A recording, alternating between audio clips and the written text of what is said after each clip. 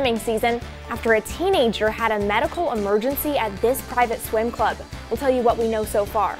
And that warm weather is bringing crowds outside for lunch. How eating from a food truck is actually putting food into the mouths of young people in our community.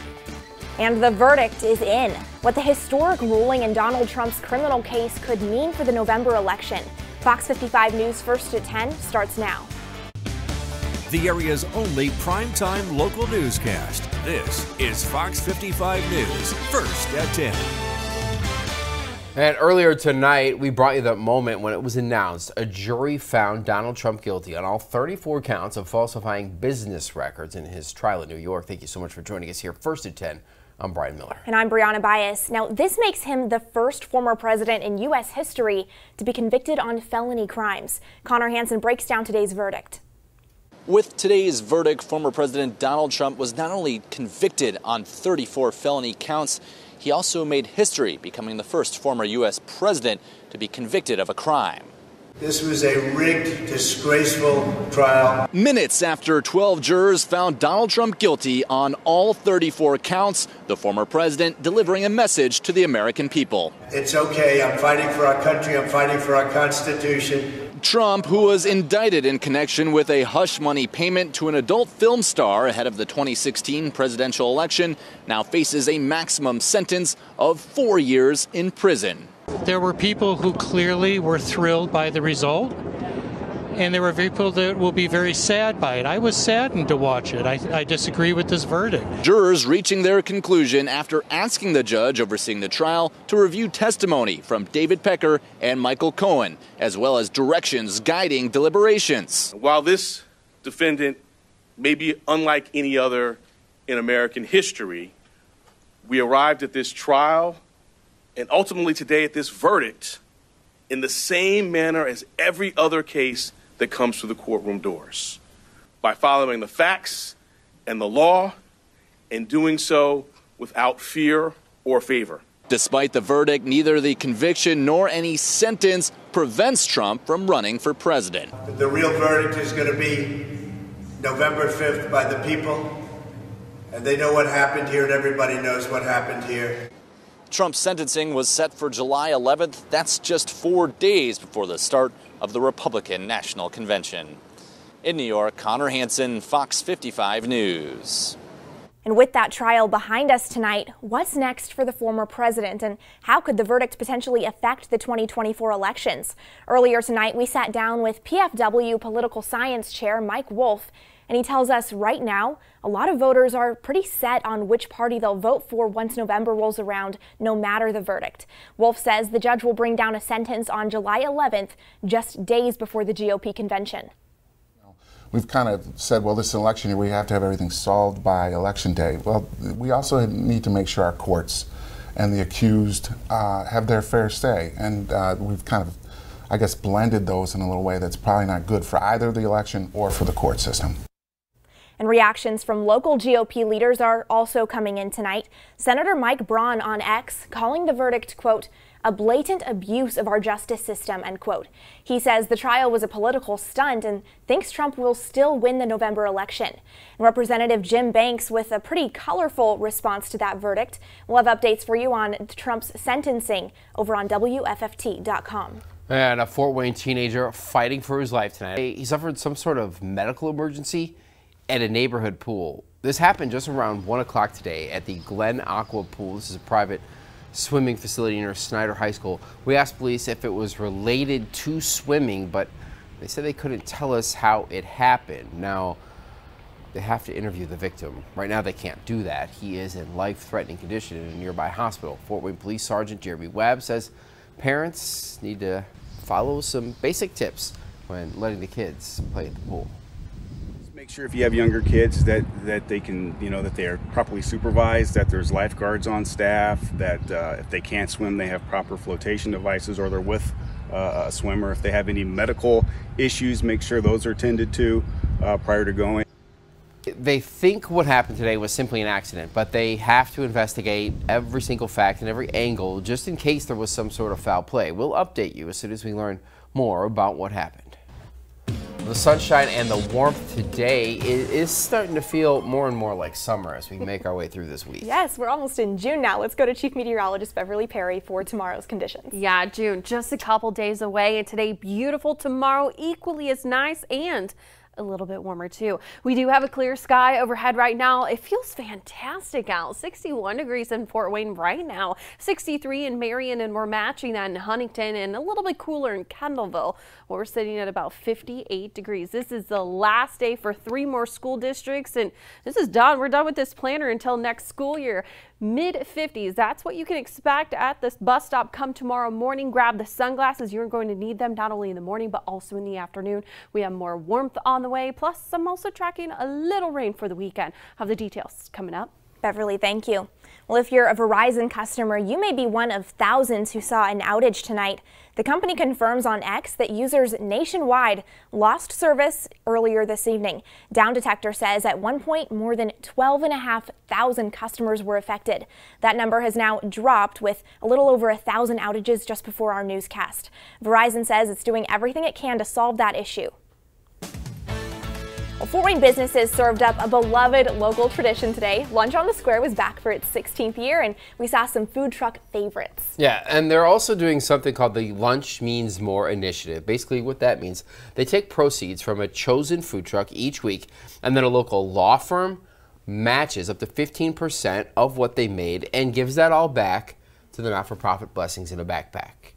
Now, if you want to get out and check this out, it's simple. You walk around, you enjoy some live music, visit vendors, try some. You can also enter to win a downtown Fort Wayne gift card.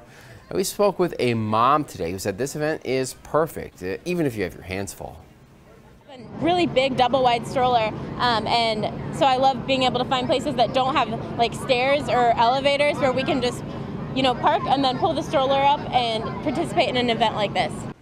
Yes, no stairs, enemy of the stroller, and uh, lunch on the square. It runs for the next 10 Thursdays. They will not do it on the 4th of July holiday, though. If you want to see a list of all the live musicians and much more about this event, you can just click on this story on our website at WFFT.com.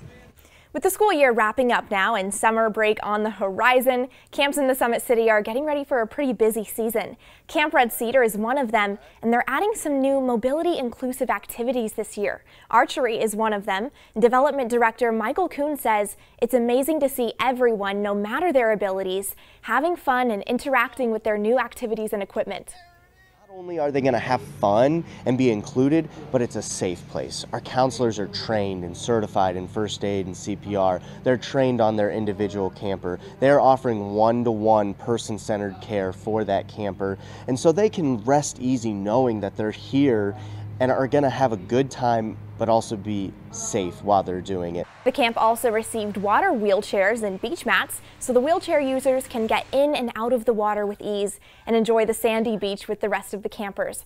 Kuhn says adding these barrier breakers prevents disabled individuals from feeling excluded and alienated. You can find more information about Camp Red Cedar through the story on WFFT.com. And another big summer program that kicks off is the ACPL, the Summer Lunch Series, gets started at the Allen County Library tomorrow. At the Library Plaza, it will take place every Wednesday starting next week and then running through July 26th.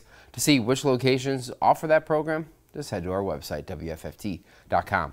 And celebrating the joy of learning and discovery, the Allen County Public Library, part of the Spark Summer Learning Program, gets started this Saturday. That will also run July 31st.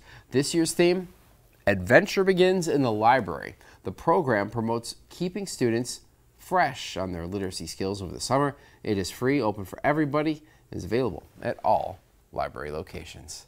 And for a fourth consecutive year, Downtown Live is going to hit the stage in the Summit City. The concert summer series runs every Friday night through August 9th at the PNC Plaza. Downtown Live comes just after Fort Wayne gets the first designated residential drinking area. The one downtown includes the PNC Plaza Downtown Live. Invites you to come by this year for some live music over drinks. The first night kicks off tomorrow and runs until 8. A new Alliance Health Centers clinic is coming to Fort Wayne's southeast side. The Bridge of Grace location will focus on primary care as well as maternal health and midwifery. The clinic is, is expected to open mid-June running 8 to 6 Monday through Friday. Well, coming up, police arrest two murder suspects with the help of a music video.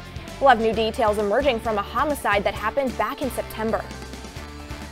Plus, the blood supply is running low. Donors are being called on to help solve a shortage. How you can give back. And later, unlocking your learning potential. The MindCap Center is tonight's Fox 55 Community Champ. We'll tell you how it's helping people with memory loss and more in our next half hour.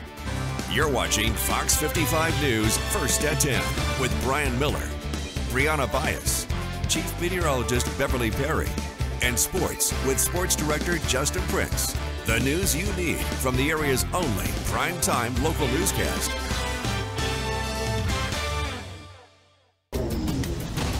Welcome back. A man accused of threatening multiple children with a gun was arrested and now faces several charges related to that incident. Police say it all happened back on April 11th at the Riverbanks complex. They say 60-year-old David Arnold, there on your screen, kidnapped children and pointed a rifle at them.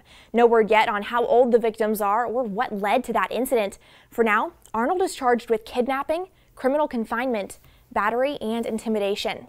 A new court document suggests a former assistant football coach at Garrett High School says he looked for pornographic pornographic images and videos of 16-year-old girls online. Those details came in just one day after he was arrested for possessing child pornography. The documents say Brody Dixon told investigators he accidentally uploaded the pornography to a Dropbox account after he downloaded it. Dropbox then flagged it and reported the content to police. Dixon is not currently accused of any misconduct with his students, but right now he's suspended from his coaching job. Supreme Court Justice Samuel Alito is refusing to recuse himself after the Supreme Court prepares to release its biggest decision of the year. Those include some involving former President Trump. Caroline Shively has more. As the Supreme Court released a number of decisions on Thursday with more on the way, Justice Samuel Alito faces calls to recuse himself from pending decisions involving former President Donald Trump and January 6th rioters. That's because of this an upside down American flag flown over his home in 2021, right after the attack on the Capitol, as first reported by the New York Times. The flipped flag has become a symbol of those who back Trump's false claims the 2020 election was stolen. He can't play fast and loose with these political symbols without jeopardizing his own integrity. Alito responded in a letter to Congress on Wednesday, saying his wife hung the flag outside their Northern Virginia home after a personal attack on her from a neighbor, writing, I was not even aware of the upside down flag until it was called to my attention. As soon as I saw it, I asked my wife to take it down, but for several days she refused. Alito also addressed this appeal to heaven flag that flew over the couple's vacation home. The flag dates back to the Revolutionary War, but has recently become popular among Christian nationalists. The justice says his wife bought and paid for the house and has a right to fly what she wants there. The idea that a Supreme Court justice would have to respond to any kind of suggestion from Democrat senators that he should recuse himself because of such demonstrations that are completely covered by the First Amendment is absolutely absurd. The Supreme Court will likely release its decisions on Trump's presidential immunity and the Capitol rioters in the next few weeks. In Washington, Caroline Shively, Fox News.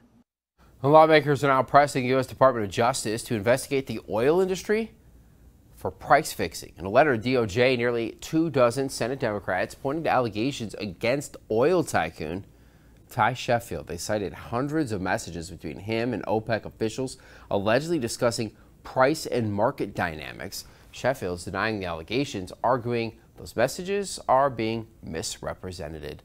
And the Supreme Court now siding with the National Rifle Association in a ruling curbing pressure from campaigns, the activists, and the government. Its ruling suggests that government leaders cannot try to coerce organizations like the NRA over opinions that they disagree with. The NRA suit was filed against a former official, New York State Department. He says the official tried to make insurance companies cut ties with the NRA and even threatened to have further action if they didn't comply. A new program from the IRS is going to be sticking around. We'll let you know how Direct File is bolstering the 2025 we have more warmth and sunshine heading our way. Plus, I'm also tracking our next round of rain. I'll have the details next. Fox 55 News. Chief Meteorologist Beverly Perry with your hometown forecast from the Fox 55 Severe Weather Center. It was an absolutely gorgeous day, jam packed with a lot of sunshine and our high temperatures topped out in the lower 70s. The best part, well, I guess there was two best parts. Well, low wind and low humidity levels too. And what if I told you we're going to copy and paste this plus a little bit more warmth tomorrow? That's what's on the way. We have a clear sky overhead right now. This is due in part by an area high pressure that also brought us the sunshine yesterday or today, and that's going to be the case tomorrow. It'll bring us a lot of sunshine. Notice these temperatures are dropping off fairly quickly under that clear sky. We're already at 55 degrees in Auburn, down to about 61 now in Fort Wayne and about 62 in Bluffton as well as Marion. And our temperatures are going to continue to drop off under that clear sky. So yes, we're going to continue to maintain a clear sky overhead. We may see a few wispy clouds overnight and also from time to time tomorrow, but overall you're still going to see the stars tonight. Clear and cool temperature wise right near 48 degrees. A great opportunity to open the window and let that nice cool breeze in and give that air conditioner a break because we all know the summertime heat's definitely going to be coming back. As we go throughout the day on Friday, we expect a lot of sunshine early in the morning, also through the lunch hour, and then it's not until the afternoon hours that we'll have some of those high wispy clouds kind of trickling. It won't be blocking out the sun whatsoever. The sun will still shine through those thin clouds, but tomorrow afternoon is certainly going to be a little bit warmer. Highs into the mid to upper 70s and we're going to keep those humidity levels low. But what you're also going to notice in the afternoon, the wind, it's going to be a little bit stronger, but hey, we can handle it, right? Turning the page to the weekend. Now, as we go through Friday evening, oh, we're looking at the cloud cover increasing into the overnight hours, turning cloudy. We're going to start Saturday morning off under the clouds, and then we're going to bring in some rain chances closer to about the lunch hour. And those rain chances, they're honestly going to continue through at least the rest of Saturday. So your soggiest part of the day on Saturday is going to be the afternoon and evening hours. So if you have anything to do out and about Saturday, the morning is it. Those showers do continue into the overnight hours and they finally taper off Sunday morning before daybreak. This thing's going to shift off to the east, so the rest of Sunday is actually looking pretty good. Temperatures over the weekend, look at this, middle 70s on Saturday, mid to upper 70s do return on Sunday. And you know what, if you've been searching long and far for that warmth, Hey, look no further. The first full week of June. Yes, June. Make no mistake. We're flipping the calendar. We're looking at high temperatures, at least early in the week in the low 80s, and we do have some storm chances in store for us as well. Hmm. But Sunday afternoon might be a good day to go sit at the park or something. Yes, we won't have a lot of sunshine. The cloud cover is going to be slow to go on Sunday. Oh, okay. But okay. at least it'll if you're nice. patient, maybe. Yes, if you're patient. okay. All right, we'll take it. Thank you, Thanks, Beverly. Beverly. Well, you'll find Beverly's latest forecast and more over on the Fox 55 Severe Weather app. It's always free to download through your phone's app store. After a test run across 12 states, the IRS plans on keeping its free online filing program for tax season next year. Direct File will be available to taxpayers nationwide. That pilot program for 2024 considered a success. More than 140,000 people used it, surpassing the IRS's expectations. The Direct File program cost about 32 million this year and is expected to expand to $75 million price tag. That could change, though, depending on how many people use that program. Economic growth has been revised to a slightly weaker reading for the start of the year. The first quarter gross domestic product expanded 1.3%. That's down from the initial estimate and also down from a percent reading from this time just a year ago. Pending home sales in April almost down 8% from March. The National Association of Realtors says this is due to buyer fatigue from the expensive housing market and those high interest rates. Pending home sales means the contract's been signed, but the deal has not yet gone through. Turning our attention to our region, former Indiana Senator Joe Donnelly is returning to the Hoosier State. He confirmed that today on his X account, and he says, Don and Donnelly says that he'll be stepping down from his position as the U.S. ambassador to the Vatican. He says he'll leave the position on July 8th and has not yet given a reason for that decision. Donnelly was made the ambassador to the Vatican back in 2022 after he was nominated by President Biden. Meanwhile, Governor Eric Holcomb is leaving Indiana and taking a short, a short trip to Europe.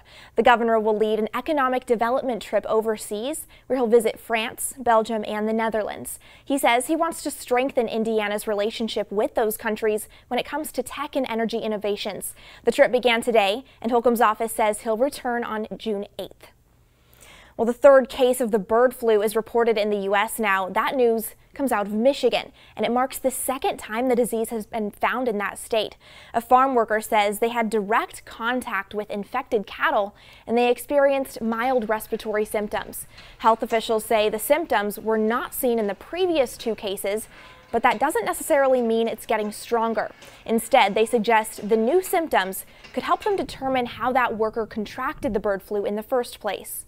And the American Red Cross says the blood supply is getting dangerously low, not just in Indiana, but across the country tonight. It's noting fewer donors are giving blood with around 20,000 fewer donations over the last month than the Red Cross says it needs. TSA suggests the shortage will be felt during the summer when the traveling summer season could impact whether repeat donors are able to give blood. The Red Cross is calling on anyone who can donate to do so, saying through June 9th, doctors will get a Tetris Plus Red Cross shirt while supplies last. Yes, if you're a Tetris fan, you got to get yourself one of these. It's a photo from the shirt. The Red Cross donors also have a chance to win a trip to New York and meet the creator of Tetris himself. How about that? Details on all of that stuff can be found right now on WFFT.com. And after the break, two more men behind bars in connection to a homicide from September. Hear how police linked these suspects to the crime. Plus, it's time to talk regional high school baseball. Justin checks in with one of our five area teams that are still alive later in sports. The area's only primetime local newscast. Thanks for staying with us tonight. Leading off our second half hour, a shooting that left one man in critical condition. Last night, police were on the scene near 1500 Woodside Avenue at around 10:20. And they say officers found a man with a gunshot wounds to his leg. Now, he was taken to the hospital where we're told he's fighting for his life tonight. So far, no one's been arrested and there's no threat to the public. Tonight, two more suspects in a homicide from September of last year have been arrested. It was 21-year-old Corion Parks and 17-year-old Lamont Martin, the two men on your left there, the most recent to be charged in the murder death of Avion Parker. They joined Lamont's brother, Christopher, up there, and then Terrence Sanders. They were also arrested on murder charges back in January. Well, it all is linked, they say, to a crime that happened in Fort Wayne and then a music video that the suspects were involved in. They said they made that music about the murder, and along with cell phone video, they tracked down the four men responsible. Court documents say it was September 12th when a shootout began over a gang war that had boiled over at the Villa Capri apartments. The victim was killed in that shootout. His younger brother was injured. And Chad Daybell is found guilty Thursday of murder and conspiracy charges in the deaths of his first wife and two children. And his second wife, in a case Idaho prosecutors claim was fueled by power, sex, money, and other spiritual beliefs. Cheryl Hubbard has more. Mr. Daybell, if you and counsel would please rise, I'm going to have the clerk read the verdict. Chad Daybell showed no emotion in court as the verdict was read aloud guilty on all counts. Not guilty or guilty of first degree murder of Tylee Ryan.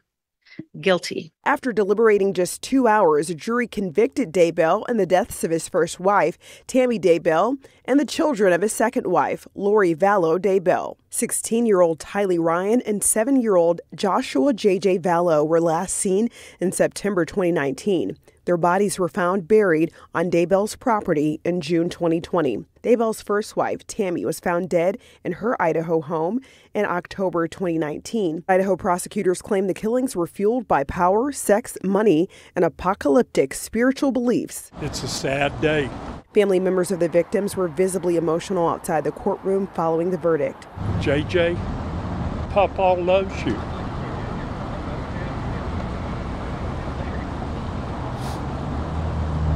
JJ, I miss you. JJ's grandfather, Larry Woodcock, says he's finally able to breathe now that justice is being served. Prosecutors are now seeking the death penalty for Chad Daybell.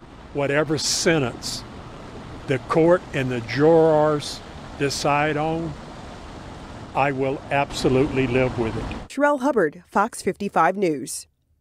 Meanwhile, the NCAA agrees to drop a transfer rule for student athletes. With that agreement, students would be able to start playing right away if they move to a new school. Now, a judge still needs to approve this agreement. Right now, athletes who transfer more than once are required to sit out an entire season before they can compete again. The NCAA also going to issue an additional year of eligibility to students who are impacted by the rule. And there's a new report now from the Washington Post that says in 2022, TikTok offered the U.S. government a deal to give it unprecedented control of the app. But the Biden administration rejected that deal. Hillary Vaughn has more.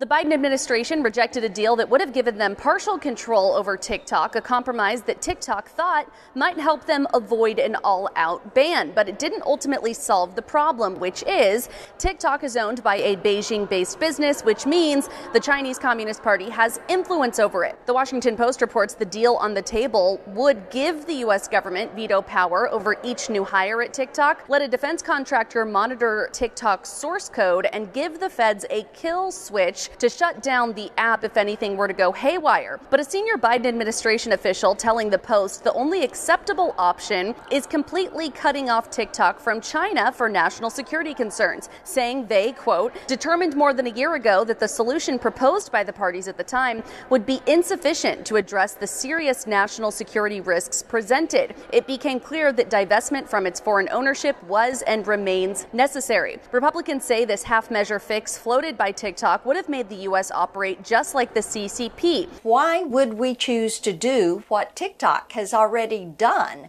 And that is to give the government access. Time is ticking for TikTok to put themselves up for sale and find a buyer if they want to continue to be on smartphones in America. But instead of doing that, they are busy suing over the divestment order signed into law by President Biden. A U.S. appeals court in D.C. will be hearing the case and has fast tracked the process to get a ruling by December 6th, leaving time for the Supreme Court to weigh in if needed. Now, TikTok has until January 19th to divest to an American company or face a ban. In Washington, Hillary Hillary Vaughn, Fox News.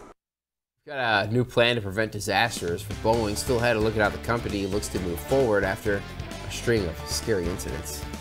And up next, the MindCap Center and how it helps people boost their ability to learn. Tara Brantley talks with tonight. Helping people increase their learning potential is at the core of an organization called MindCap, and it's getting ready for a Fort Wayne First this summer. Joining me now with more about it is Dr. Jean Zayer, founder of the Fort Wayne nonprofit. Dr. Zayer, thanks for coming in today. You have brought with you a model of a human brain to kind uh -huh. of uh-huh. illustrate mm -hmm. what mm-hmm. we are talking about. How has MindCap helped people increase their learning potential? Mm. We use an amazing program that was used since World War II to help mm. Holocaust survivors get their thinking back. Mm -hmm. Very fascinating. As soon as I discovered it 25 years ago, I knew, oh, this is going to change everything for the students that I worked with. And so then, about nine years ago, we started the MindCap Center with people that I've trained in the program, and we love doing the work we get to do. So is this primarily for those who have cognitive impairments, those who have memory loss, etc., or can anyone use this type of system? Perfect question because actually anyone can get better with their thinking. Just think about it. Don't we want our brain to work the very best it can possibly work? Right. So the frontal lobes, the front part of the brain, is often what we are focusing on with executive functioning. Now it's pulling from all the lobes of the brain, okay. but having that executive functioning working well in our prefrontal cortex helps us to handle anxiety, helps us if we're a gifted kid to be able to stay focused and get more done. Or if I'm a an adult with ADHD and I, I struggle with impulse control, or I'm a person that had a brain injury, whether I'm five years old or 55 years old. The program can help the brain work better. So, what types of accomplishments have people been able to see because mm. they went to MindCap? Mm. Had some people that their short term memory came back hmm. and they didn't know if it ever would. Uh, one was due to a motorcycle accident, and another was a young man had had multiple sports concussions. Hmm. And the, his mother remembers the day that he looked at her in the car and said, Mom, do you remember when I was five years old? And he started remembering something that he had lost. So he lost long term memories, and those even came back. We've had kids that have been able to go off medications for ADHD Mm. and be able to uh, rewire their brain so that they can focus without medication. I mentioned earlier you're getting ready for a Fort Wayne First, something happening this summer. Tell us about that. Such a big deal. It's called Shoresh, which is a Hebrew word for roots or the source. And it's Shoresh USA, a conference where anyone in the city can come mm-hmm. and learn about this method. Dr. Zaire, thanks for joining us again and good luck with the workshops that are taking place this summer. Thank you. We have more information about the workshops. They're going to take place at Northside High School July 8th through the 12th. Simply go to this story on our website, WFFT.com. And that was Fox 55's Tara Brantley reporting. Well, more than a million bed rails are now being recalled after manufacturers learned of two people dying. And that recall involves two models of adult portable rails from the Medline Company. The U.S. Consumer Product Safety Commission says the products pose a risk of entrapment and asphyxia. Anyone with those rails should stop using them right away and contact Medline for a refund. And ahead of their trip to space this weekend, the Boeing represents a new safety plan to the federal government. And they say the plan looks to address a series of safety problems that have been plaguing the company. Caroline Shively goes over that plan that Boeing presented to the FAA. After a series of safety problems, including a near catastrophic midair blowout of a door plug on a 737, Boeing officials met with the Federal Aviation Administration on Thursday to lay out their new safety plan for all of its aircraft. Boeing has laid out their roadmap, and now they need to execute. The Boeing plan includes increased employee training, a stronger anonymous reporting system from employees, increased input from users, including pilots, and improvements to their manufacturing process. The FAA required Boeing to create the plan to address their systemic quality control issues after the January door plug incident on an Alaska Airlines flight out of Portland. The National Transportation Safety Board blames loose bolts for the blowout on the 737 MAX 9 aircraft. But whistleblowers have since come forward claiming larger problems at the industry giant, including on their production lines. Bottom line, we will continue to make sure every airplane that comes off the line is safe and reliable, regardless of how many planes Boeing builds. This all comes five years after two deadly 737 crashes killed 346 people. Boeing pledged safety improvements then. And as has become so clear after Alaska 1282, uh, that, that was more smoke and mirrors than it was action. The crisis at Boeing led the FAA to force the company to slow their production of the 737 MAX, which has forced some airlines to slow their plans to increase their fleets. In Washington, Caroline Shively, Fox 55 News. We have more warmth and sunshine heading our way. Plus, I'm also tracking a little bit of rain for the weekend. The details, they're next. News. Chief Meteorologist Beverly Perry with your hometown forecast from the Fox 55 Severe Weather Center. We had a whole lot of sunshine throughout the day today, and high temperatures topped out in the lower 70s, and we have more warmth and sunshine on the way for tomorrow.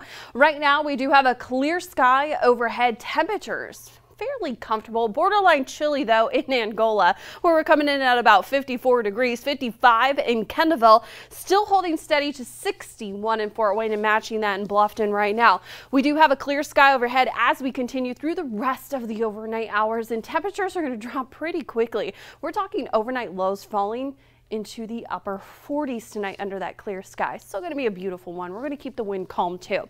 Bus stop forecast. This is officially the last bus stop forecast for the school year. We have our last three schools experiencing their last day tomorrow.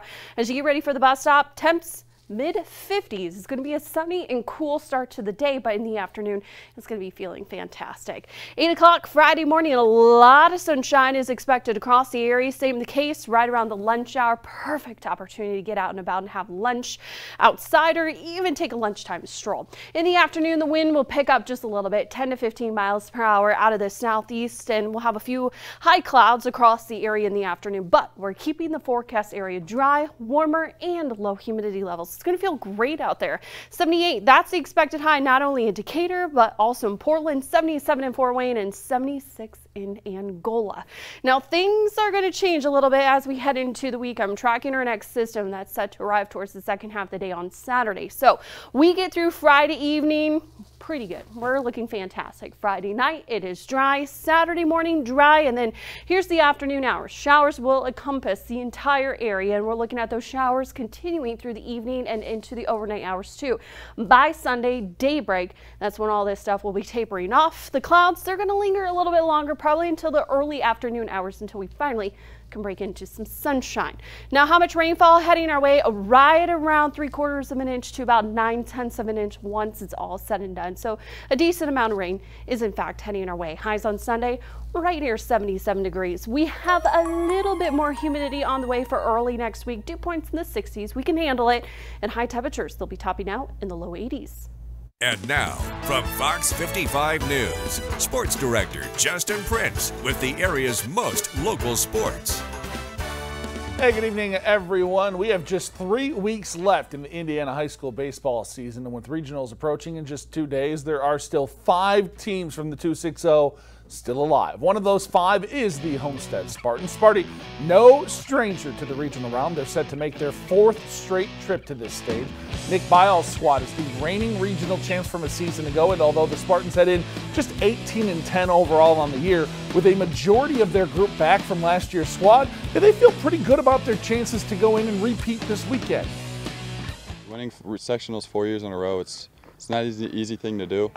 Um, I think it really helped us, gave us kind of like a momentum boost because kind of had a up and down year, didn't play well at, to start, and then couldn't really find consistency. So I think winning those three games helped us kind of find something, get into a little bit of a rhythm, and we're we have some momentum going into regionals. I think winning it in years past and winning regionals last year, I think it's just something that we know that we can do it, and we know that we have the talent to do it again. So just that belief and confidence that we have going into it is going to give us an edge. Homestead is going to play rival Carroll for their regional crown out at Plymouth High School on Saturday. First pitch is set for 11 a.m. For a full look at all of the regional pairings, you can head on over to WFFT.com. Staying on the diamond, TinCaps looking to get in the win column for the first time this week against Wisconsin. Top six in this one, game all square at one apiece. Ethan Salas at the dish, and he cranks this ball to right. It one hops the fence. He's into second with an RBI double TinCaps take a 2-1 lead. Very next batter, Homer Bush Jr. up, and he's going to trade places with Salas. He doubles into left center. Salas touches home. Fort Wayne takes a two-run lead at that point, but just like the last two nights, they couldn't hang on to their lead. Bottom eight, all tied at three. Last night's hero does it again. Ramon Rodriguez doubles down the line and left. Two runs come in. T-Rats go up two. They tack on two more, and and the TinCaps their third straight loss to open the series. 6-3 your final game four tomorrow night at 7:40 switching over to the college game for the first time ever the Northern Kentucky baseball team is going to the NCAA tournament and they have former Concordia Lutheran standout Traven Moss to thank as a big reason for being there. Traven hit 538 with a homer and 12 RBI in last week's Horizon League tournament helping the Norse clinch their first ever HL tourney crown. A sixth year senior, Traven was named the tournament's most valuable player earlier this week. The Norse found out they were heading to Knoxville to face the top seed in the entire tournament in Tennessee in regionals. But hey, you know, that doesn't bother Traven one little bit. Nameless, faceless opponent. They teach us that every single day. We preach it. Um, and it's the same thing. Uh, they're human just as we are. We know what they're capable of, but we also believe in us. We believe in our guys. So just to go there, um, make the most of the experience, make the most of the opportunity. Um, it's a once in a lifetime opportunity. So I think to, to be there, um, to have this opportunity, we go there play our game like we have been, play hard, um, and we don't worry about the outcomes. Whatever the outcome is, it's going to take care of itself. We're going to focus on what we can control. Um, we always say control the controllables, and wherever that takes us, we're happy, man, and, and we're uh, excited for the opportunity.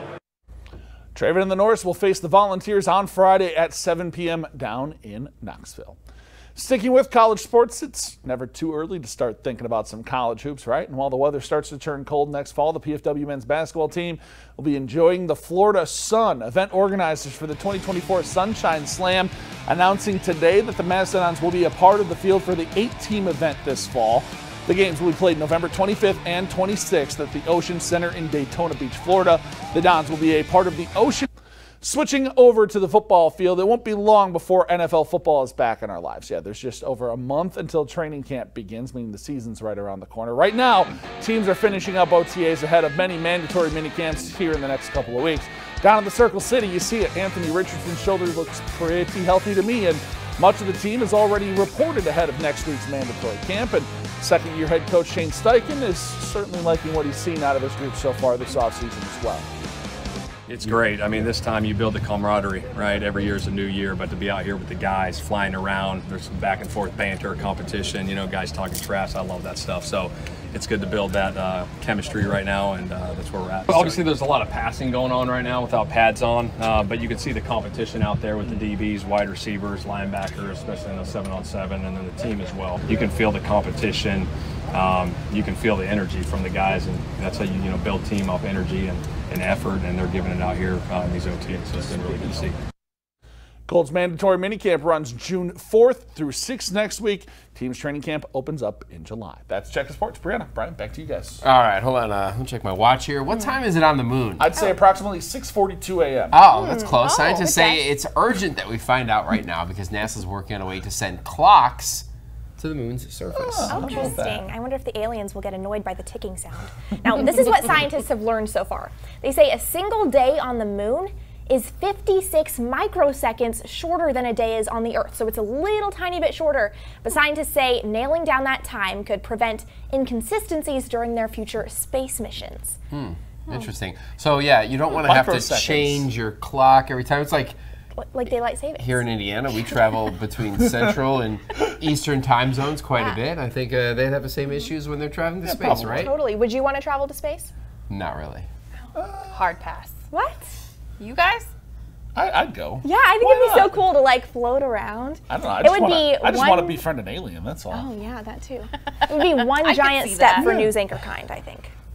All right. I'll Beverly, anchor a new. I'll anchor some sportscasts from the moon. How about that? That'd be cool. That'd be awesome. That'd be some, awesome. some baseball where the Yes. ball flies. Ball just never stops flying. Moonshot. I get it. All right, Beverly, what's it looking like? As Uh, well, no moon shots or anything here, but what we're looking at is some sun shots. We're looking at a lot of sunshine as we go throughout the day. We're talking temperatures in about the low to mid 50s by about 8 o'clock, but high temperatures, they're expected to top out in the mid to upper 70s. Best part about Friday, well, number one, it's Friday. Yeah. Uh, low humidity, a light breeze in the afternoon, but hey, it's going to be amazing. We're almost there, guys. All right, we'll Looks take it. beautiful. Thanks, Beverly. You bet. All right, well, we will see you tomorrow. Thanks for joining us. Good night.